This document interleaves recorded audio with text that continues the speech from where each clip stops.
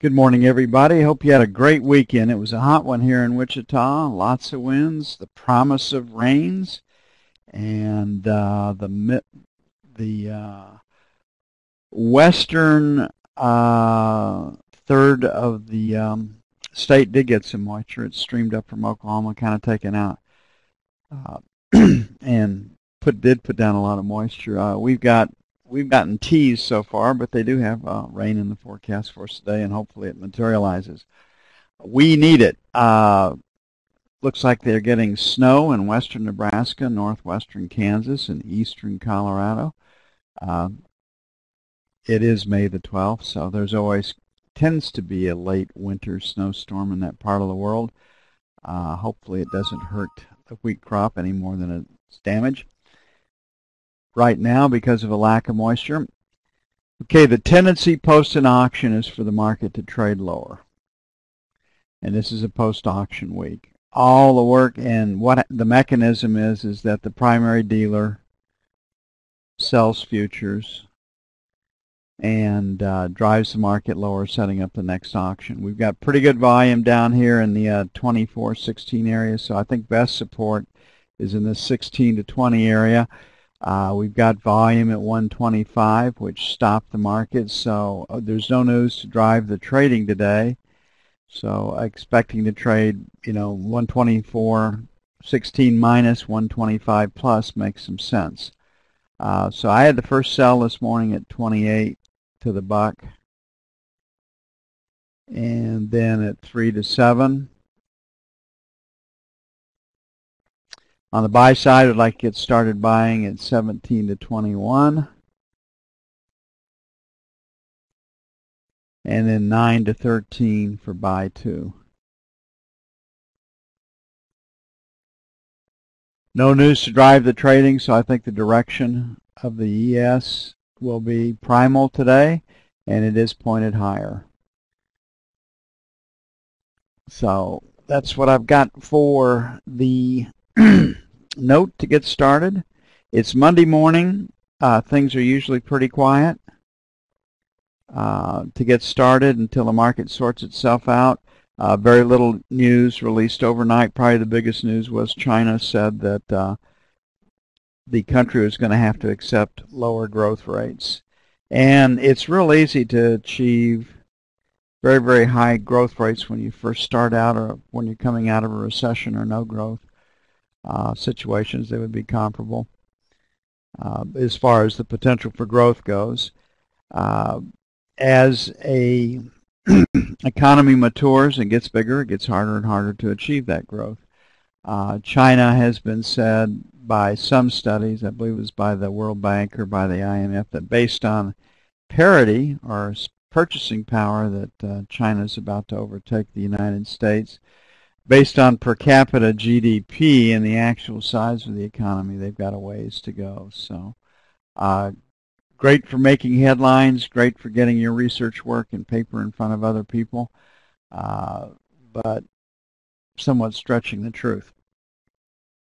Got a B pattern overnight, selling into early strength is what we want to do here. Uh, the uh, last rotate up uh, stopped in London at uh, 22.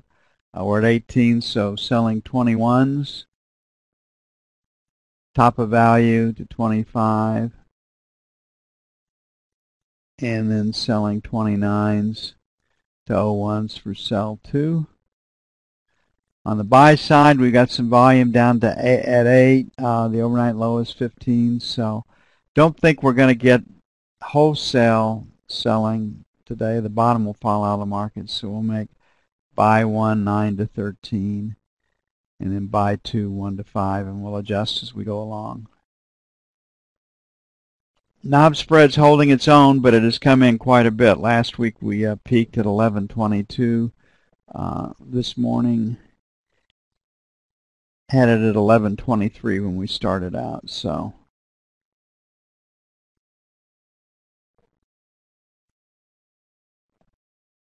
It is coming in as you would expect. Uh, the rally to 1122 started at 1021.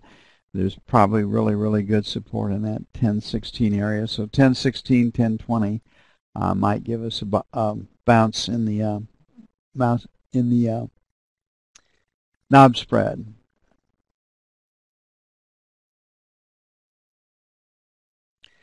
Okay, gold is lower. I, I, mean, it's holding its own. It's not really um, breaking out or making a run.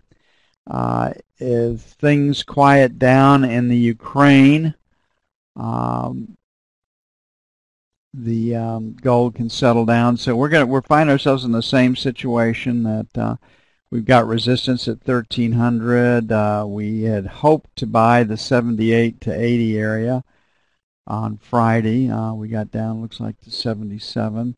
Uh, the news out of Ukraine is uh, that the Ukraine has voted to join Russia. Now, lots of fake ballots were seized, all sorts of problems. Kiev says the uh, ballot box were stuffed. Russia says they're happy uh, the, of the outcome of the vote, but uh, there must be a peace, peaceful solution. Uh, so we're going to see how that shakes out. I think, like we've said for the last couple of weeks, that Russia, the Russian model has come in, take a province from the country that's uh, they're trying to whip back into shape, show that they can dominate them um, any time that they want, uh, put the uh, politicians of that potential breakaway country back in their place, and then business as usual. So Russia has taken the Crimea. They've solidified and uh, protected their outlet to the Black Sea. Uh, the eastern Ukraine, uh, which is where all the industrial uh, might of Ukraine is, has voted to join Russia. Russia's saying, hey, okay, we know what you want to do and everything, and we're here for you, but there's no need to uh, uh, do anything right now. So uh, we're in the same situation we were on Friday. Uh, we've got resistance uh, in the 95 area, then resistance at 1300. So the market is pointed higher. We can go up a little bit. So let's make 98 1300 sell 1 and then 3 to 5 for sell 2. On the buy side, we have all this volume at 90. We're at 96 right now, so let's make 91, 89, buy 1 and then we broke this thing out at 85, 85, 87 for buy two. All last week we were trying to buy the 85 area, 87 area, uh, just because of the political and monetary unrest around the globe. And I don't think that's changed one bit. Uh, some interesting articles out on where Draghi is and what he has to do. Um, come June. It doesn't mean that he'll do it. The European Central Bank is limited. They can't buy paper like uh, the Fed can. They can't uh, build a balance sheet like the Fed can. So Draghi is pretty well left with rhetoric, and um, we'll see how good he is at pulling it off. Uh, he's promised some easing. Now they can do uh, easing through repos, where and they've done this before, where the European um, central bank will do repos with various banks and entities, uh, where they'll take that paper in on a repo basis uh, with a time certain, and it goes back to um, whichever entity they took that paper from. So there is one way to get around it, and they've used it before, but they can't actually build a balance sheet by buying it outright. They can lend money on it, but that's it. So my guess is uh, if Draghi is going to maintain some face come June, they'll do some of that. Okay, the euro is holding its own. It's a B pattern. Uh, European Central Bank, European finance ministers all over the EU want the euro to sell, so they got a shot at increasing revenues through exporting to somebody other than themselves. And you can see right up here that we've got pretty good resistance at 38 and then at 38.25. So this is our resistance zone. And on the support side, we're really in this high volume area in this uh, 60-65. So uh, we last week we were trying to buy 40s to 50s. That seems reasonable today. Say make it 50 plus or minus 5 for buy 1. If we break that, then um, 25 to 35 buy two. On the sell side, 75 to 85, sell 1, and then 95 to 05 for sell 2. It's hard to fight the central bank, although traders have made uh, Draghi's life very, very uncomfortable uh, by rallying the euro pretty much all of last month. But uh, they really, really want the uh, euro to be lower. And over time, it's hard to fight a central bank. Okay, crude's up a little bit. Two stories for crude. Perhaps the economic growth has returned to the world, and we've got modest, moderate economic growth, as everybody's central bank, the World Bank, and the IMF are predicting. And they have to predict that. They can't come out and say the world's major economy are going to tank and not grow.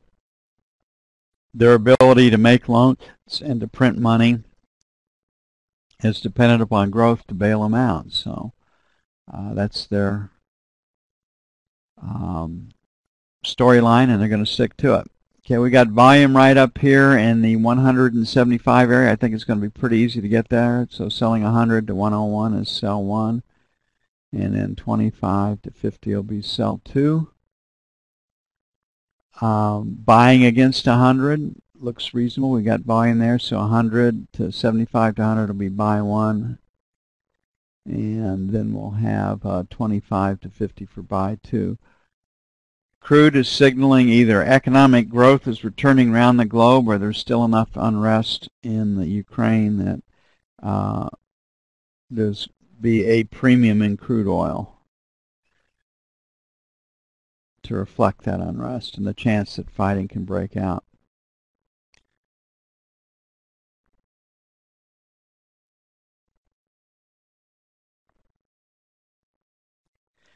Okay, I want to show you a couple of combinations on the E-mini. It is pointed higher this morning structurally, and we'll look at first at F1. And you can see if we put all of this together, we're dealing still with P's, and you can see that volume is moving higher in the distributions. Should pop up right now. So for whatever the reason, the Fed, uh, economic growth returning the second quarter, lots of different reasons. You can see that volume is moving up in each of these distributions, and we're still dealing with a P. And if somebody put a gun to your head and you had to make a trade, you would make it from the long side. And we do an N split on this with a move out of the middle, and I'll show you another take on this. So, like it or not, uh, as uncomfortable it might be for fundamentalists out there, there's a lot of reasons that say that we should not be this high, but we are. And you really can't fight the tape. Now, I don't think there's a, certainly not today, there's not a piece of news that can take the market higher. Uh, but you got to remember that high frequency traders can create an environment of plus ticks and that's all the market needs to trade higher. High frequency trading is really very easy. If there's plus ticks out there, if the money's going to the long side, they join it. And because they can help create this, uh, they can do it. So uh, we, you can see right up here that resistance really begins in this 85 area. And you've got 9250 right here. So the issue is, uh, can we take out resistance at 85 to 9250? And my guess is we're going to probe there, but I don't think that the news is right to take it out. So I want to get long first to trade into that area. But if we can't take it out, I can trade from the short side.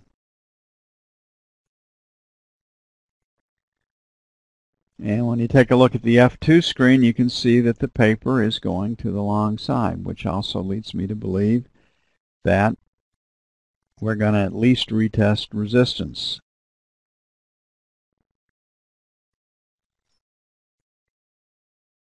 Now, one of the things is, is that as a trader, and what, if your belief system is so strong that you can only see your own opinion, you cannot be you're not going to be successful at this business because you really are forced to see things, see what is. You have to really, really be able to assess and see reality.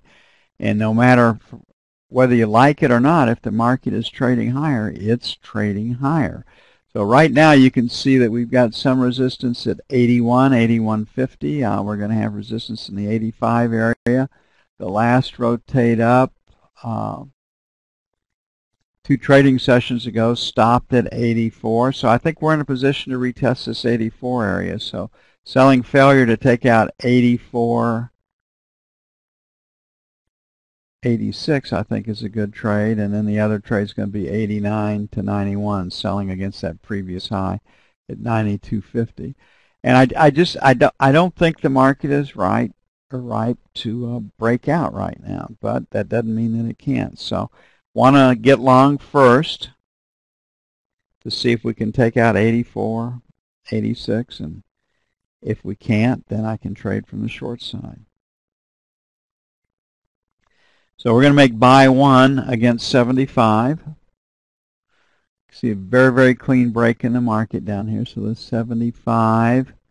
Uh, we've got volume at 77, so this is going to be buy 1. And then buy 2 is going to be 70, 72.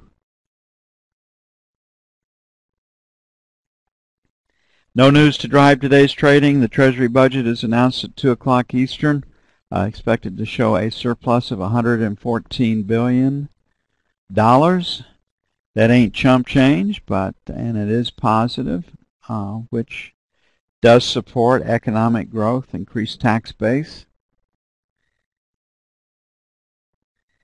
And uh, so uh, that's one piece of tangible news. The other one is, is that merger acquisitions take over. When the markets are quiet, and companies have excess cash and they want to make a strategic play to help increase their uh, uh, company's chances down the road, they start buying up other companies as opposed to buying their own stock. And corporations are flush with cash uh, right now. It's pretty easy for them to do that. So mergers and acquisition season comes during these pauses, and people are afraid to sell their stock, so because they might be bought out or taken over, so that restricts supply. And when supply is restricted and demand, i.e. the money that's held by these large corporations, is intact and has to be spent someplace, uh, and they're content that their business is fine as is and no reason to grow it, they go out and buy other companies, and that's another th another way to hold the stock market at these levels and in a trading range. I'm going to turn off the recording.